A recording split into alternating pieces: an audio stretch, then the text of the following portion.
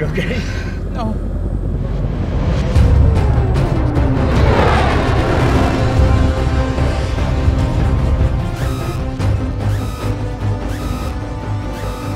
Don't worry, we're staying out of there.